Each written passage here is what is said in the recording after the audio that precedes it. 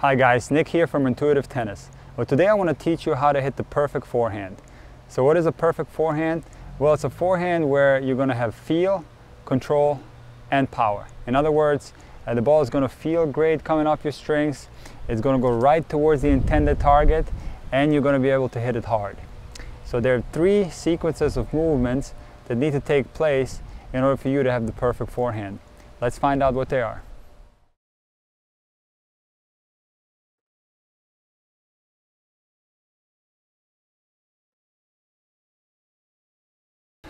So the first sequence of the forehand is watch and turn. And it's something like this. I'm in my ready position and I'm watching the opponent and as soon as I recognize, okay, this ball is coming to my forehand, I'm going to make a turn like this. I'm going to continue watching the ball when my body's going to make a turn and now it's going to allow me to set it up appropriately.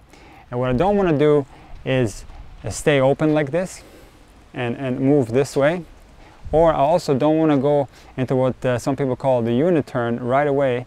Uh, it's way too early. I don't want to go like this and, get my hand across the body because now my movements are going to be very mechanical and robotic when I move. So I don't go into that yet. That comes much later in the swing. I simply just, from a ready position, I turn towards my forehand side and now I'm ready to set up. So the second part of the forehand is the setup phase. And this is a very important phase if we want to hit a good forehand and we need to be set up perfectly. So we already know it's a forehand. We've turned this way and now we start setting it up. And I can go basically in four different directions. We can go this way uh, on the run. Uh, we can go uh, forward to the ball like this. Uh, we can go backwards if we get pushed back like this in a turn position. Or even if we decide we want to hit a forehand from the backhand side, I do the same progressions. We go turn a little bit and now we can move this way to the forehand. So now step number three, uh, we're going to actually hit the ball. So we've already turned, we've set it up perfectly, and we're going to be in a position as something like this. Okay, and this is what looks like a unit turn. Now remember, this happened much later in the stroke. This is not the first thing we do. So this happens much later. And now we're ready to separate uh, the non-dominant arm uh, from the dominant arm we're ready to go into our backswing. And when should this happen? Well, you should start separating and when the ball is bounced on your side of the court, or maybe if that rushes you a little bit too much, you can do it when the ball is about to bounce. If that feels like it gives you a little bit more time.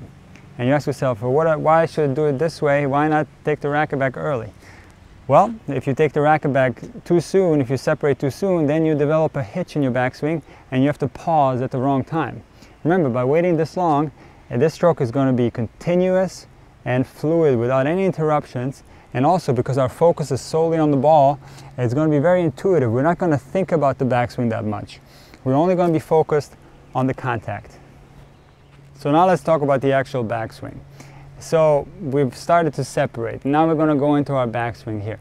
So if we just look at the maybe the four best players of the last 10 years and take a look at how they take the racket back. They all do it differently.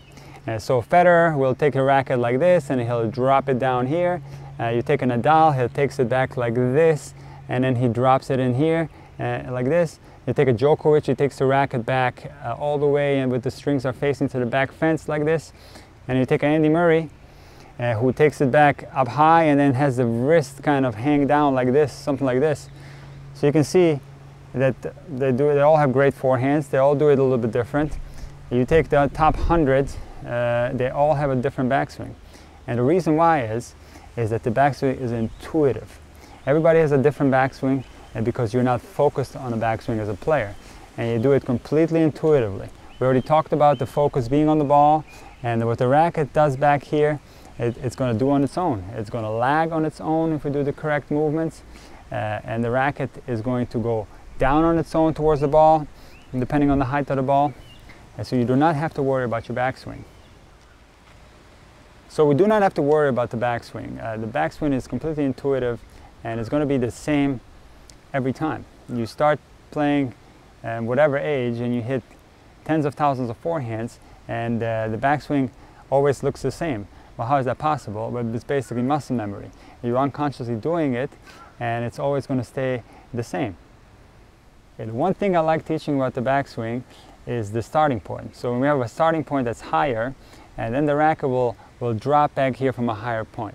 That is really the only thing I would like you to, to look at, uh, is to, to start from the ready position like this, and turning and maintaining this high position of the racket.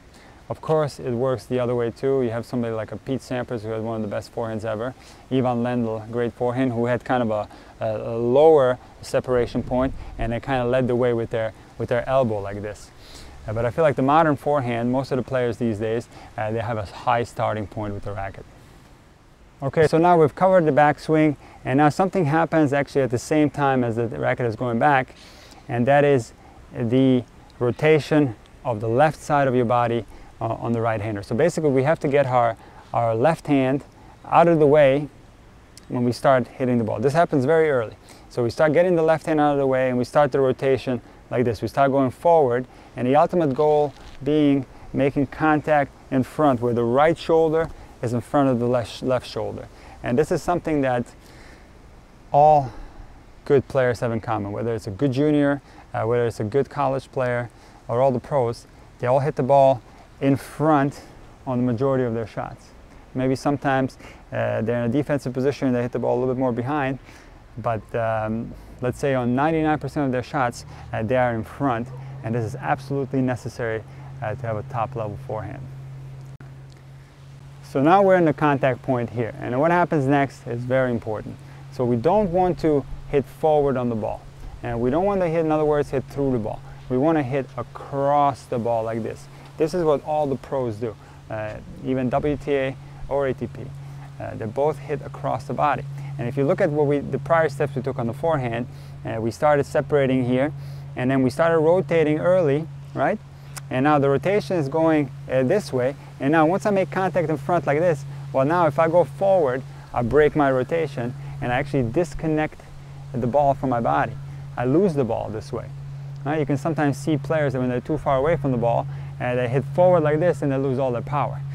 So in order to keep our power and connect that ball to our core, we must hit across the body in an up, across, and back fashion like this, and we get a lot more strength on the ball that way. So why must we hit across on the forehand? Uh, well, the reason is uh, multiple. So there's, it's for feel, it's for control, and it's for power. And let me break it down one by one. So why is there more feel going across? Is because we're keeping the ball longer on our strings. So we're feeling the ball a little bit longer. We're not letting it come off the strings too fast. Uh, so there's definitely more feeling coming across. Uh, we know this on a slice backhand, for example, which is kind of a finesse shot that we, we hit across and we can feel the ball in the strings longer and it's a very desired thing in tennis. Another reason why we want to hit across is control. So the control in tennis comes from keeping uh, the strings positioned towards the target as long as possible. And so if we break this uh, position, uh, we lose control pretty fast. If we keep this position as long as possible, something like this, and then we have ultimate control over the ball. And now thirdly, we also get more power by hitting across. And let me explain. By going, we already started, you know, rotating here. We already started rotating, and now we're going to hit the ball in front, as we already covered. And now by hitting across, we are actually connecting the ball to our body. See, we are much stronger pulling the racket across this way than we would be if we went forward on the ball like this. This is true in a close stance forehand as well. If we connect the ball this way, we are much stronger on the ball than if we went forward on the ball this way because if we go forward, we disconnect the ball from our body. So in any case, whether it's close stance or open stance, we are always much stronger hitting across. And I want to make a separate video where we cover this issue um, with lots of slow-mo footage and so on, where we're going to talk about how we must hit across on all shots, topspin, and flat. Thank you so much guys for watching this video. I hope you enjoyed it. Uh, please don't forget to subscribe and I'll see you next time.